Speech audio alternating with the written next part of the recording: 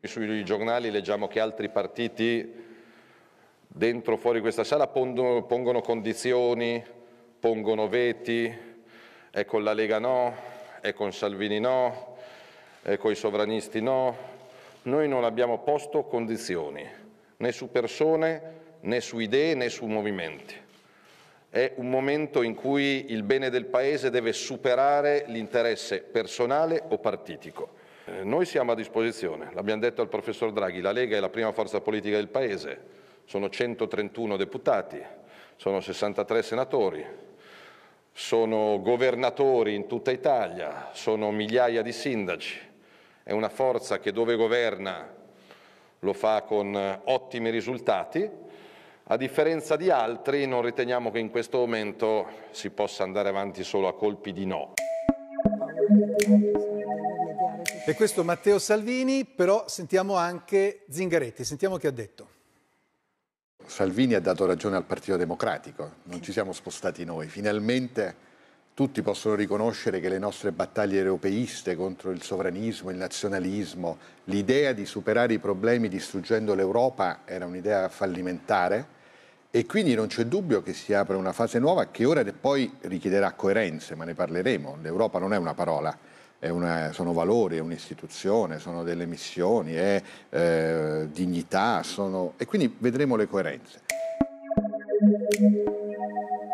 Con Marica dell'Acqua intanto sui social Beppe Grillo torna a farsi sentire e a rimarcare una battaglia storica personale e anche del movimento, quello di un reddito di base e spiega infatti che il good dollar è una moneta che consente di ricevere un reddito di base direttamente sul proprio cellulare. Non fa nessun mm, riferimento politico eh, a questo preciso momento, ecco, non c'è nessun riferimento al momento politico in cui ci troviamo in questo momento.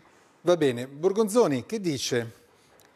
Questo governo nascerà con la... Trovata, ma io quello che voglio cercare di spiegare, la Lega si è trovata davanti a un bivio in cui poteva decidere la eh, coerenza, come è stato detto in studio, la coerenza davanti a tutto per tutto. Abbiamo, de- abbiamo detto mai governeremo con XY, per cui non ci importa niente magari dei lavoratori e di provare a pesare in quei provvedimenti dei giovani di cui abbiamo parlato, perché noi, come tutto il centrodestra, abbiamo presentato migliaia di emendamenti che sono finiti nel niente se non per pochi casi durante i decreti che abbiamo visto nell'ultimo anno, oppure dire è più importante questa coerenza di facciata e magari ci portava anche dei voti, eh, rimanere fuori e dire assolutamente no, mai non andiamo, tra virgolette, a sporcarci le mani, non andiamo in un, in un governo dove magari un nostro elettore mai avrebbe immaginato di vederci, oppure cosa facciamo? Cerchiamo di fare bene per quei giovani, per le imprese, proviamo a pesare in quei provvedimenti, proviamo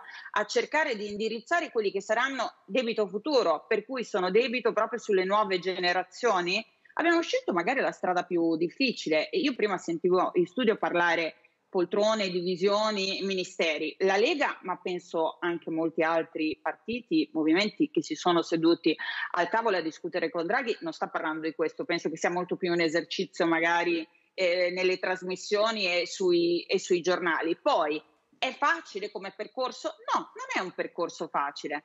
Però davanti alla scelta noi abbiamo preferito al bene della Lega il bene che è quello del paese. Abbiamo deciso, magari non pagherà, io non lo so se pagherà questa, questa cosa dal punto di vista elettorale, però sicuramente quando uno fa politica dovrebbe avere come primo intento e primo faro da seguire quello di fare il bene dei cittadini o quello che pensa sia il bene dei cittadini. Per cui questo per noi era fondamentale. E abbiamo... così, però è implicitamente no? un'accusa rivolta a Fratelli d'Italia che invece penserebbe no, per il principio contrario alla, a un discorso elettorale. Guardi, io non credo che ci possiamo no, dividere. Scusate, Arriviamo, scusate, migliore, ha ragione. Allora, io non mi voglio dividere né voglio pensare alla Lega, alle sue scelte, avrà fatto giustamente le sue riflessioni. Noi pensavamo che un bene era anche quello di non dividere il centrodestra, tant'è che Giorgia Meloni aveva detto che era disponibile se tutto il centrodestra si fosse astenuto anche lei ad astenersi poi invece abbiamo capito che insomma eh, ognuno Dinamiche va per la sua diverse. strada, Ma io sono convinta che la Lega ci dovrà ringraziare come Forza Italia, perché noi saremo l'unica opposizione di questo governo, dove peraltro saremo la sentinella del centrodestra, dove peraltro noi non è che non tifiamo per l'Italia, noi voteremo tutto ciò che servirà ai nostri imprenditori, ai nostri commercianti, ai nostri operai, alle nostre famiglie, tutto voteremo, come abbiamo sempre fatto. Però io dico all'amica eh, Lucia. Eh, Lucia questo, dico ognuno prende le proprie responsabilità, è un modo di affrontare le proprie responsabilità. Noi non crediamo che possiamo stare in un governo dove probabilmente ci starà Speranza come ministro, Di Maio come ministro, Conte nessuno gliel'ha chiesto ma vedo che oggi dice io non parteciperò, no, no. ma non so chi gliel'ha chiesto, tenderei ad escludere che Draghi ha chiesto a Conte di partecipare al governo. Detto questo, noi siamo assolutamente, cioè tifiamo per l'Italia, abbiamo detto che Draghi è una grandissima personalità, ma poi siccome siamo una repubblica parlamentare, i voti se li dovrà trovare, chi sarà, voglio vedere la Lega quando Draghi gli smonterà quota 100 se ciò avvenisse come si comporta, che ne ha fatto sempre una bandiera. Allora sull'immigrazione ci saranno quelli che hanno smontato i decreti sicurezza. La Borgonzoni è fiduciosa, dice perché dovrebbe... Ma io voglio dire, io tifo, noi tifiamo Beh, perché migliore, migliore, migliore. 2022. Migliore, migliore. No, allora, Fatemi sentire migliore.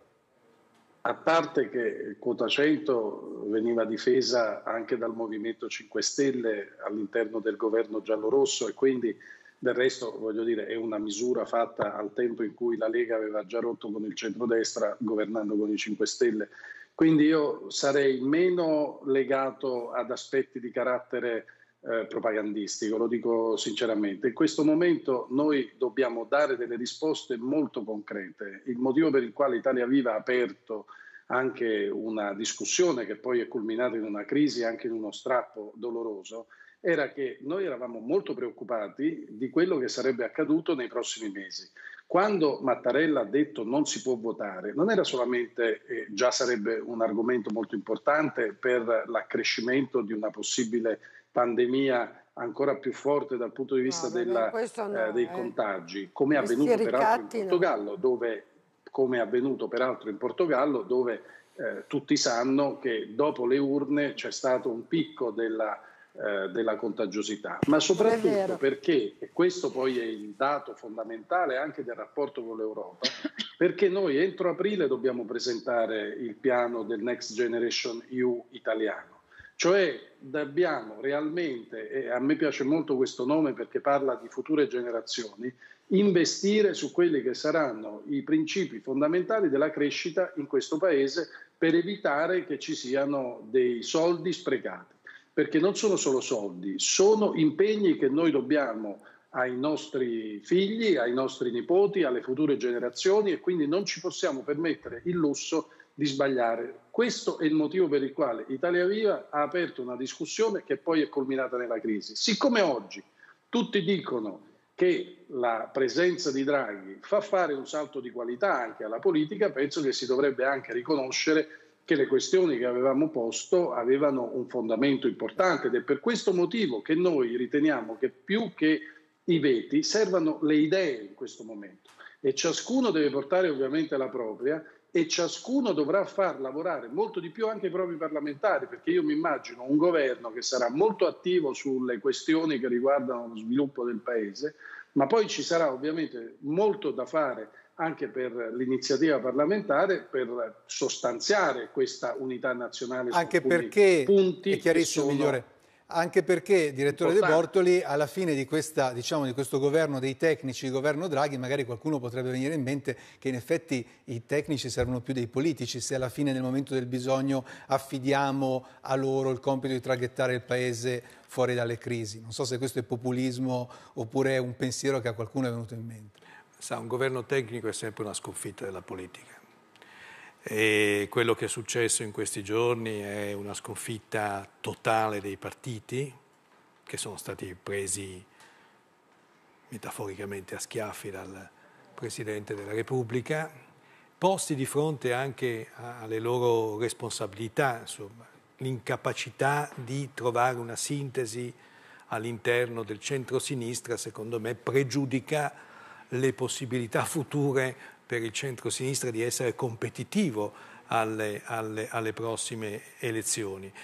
È ovvio che oggi i partiti dovrebbero sentirsi meno legittimati a chiedere, ma più costretti a rendersi disponibili, quindi a fare un passo indietro rispetto alle loro scelte identitarie, che possono essere quota 100, che possono essere quelle relative alle vicende fiscali, anche se penso che tutto sommato nel pensiero di, di Draghi ci sia una diminuzione delle tasse sul lavoro come passaggio assolutamente ineludibile anche perché le tasse nel nostro gli imprenditori paese... Da, da sempre, dal esatto. primo giorno di pandemia dicono non date inutili e piccole sovvenzioni, toglieteci le però, tasse che sono però che, nel, che noi non nostro, riusciamo a pagare. Nel nostro paese circa l'80% del gettito fiscale lo, lo, pagano i dipendenti e i pensionati e questo dobbiamo dirlo, quindi c'è un problema di riequilibrio, di evasione fiscale.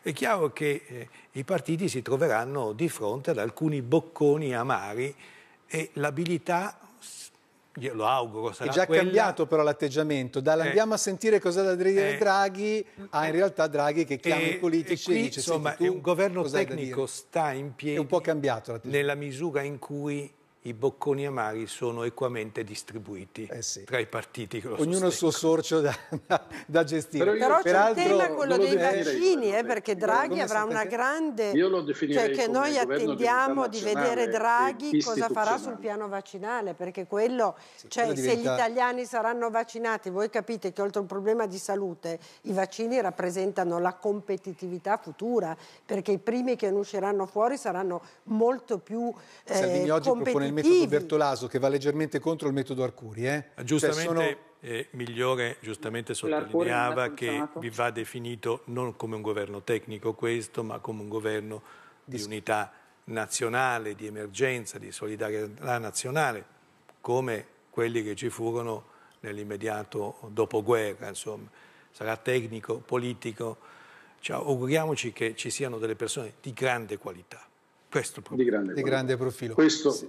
È, la speranza di tutti.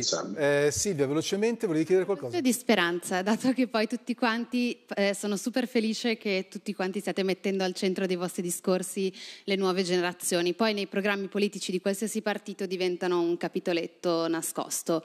Ora, dato che almeno siete in tre partiti qui, vi trovate d'accordo sul tema di rilanciare le nuove generazioni, ma non potete sedervi all'insediamento del governo Draghi in Parlamento e riformare l'accesso al mondo del lavoro, un giusto riforma del welfare per permettere a tutti di fare famiglia, che sono sicura che è una cosa che condividete da destra a sinistra, per ridurre il divario salariale. Sono queste le vere cose che servono all'Italia, che servono alle nuove generazioni e non ditemi che è un tema impopolare è un tema che dovrebbe metterci d'accordo tutti. È sicuramente da condividere. Eh, notizia di oggi, ma in realtà non è di oggi, il 30% delle famiglie italiane non può garantire l'accesso alla DAD dei propri figli. Questa è l'altra grande sconfitta. Il 30% oggi, cioè un anno dall'inizio della pandemia. Questo a proposito di giovani è un'altra cosa che fa eh, riflettere. Prima di eh, salutare i nostri ospiti, direi che mh, 40 secondi di De Luca glieli dobbiamo, anche perché insomma, il Presidente della campagna ha questo aspetto un po' burbero, a volte dice delle cose in maniera molto seria seria che fanno un po', però devo dire che su Conte e sul patto del, del tavolino ha detto una cosa, mm, vabbè, sentitela, sentitela. Abbiamo visto cose che noi umani neanche avremmo immaginato di vedere. E l'ultima di queste meraviglie l'abbiamo vista quando è stato portato davanti a Palazzo Chigi, a Piazza Colonna, un tavolino, spoglio.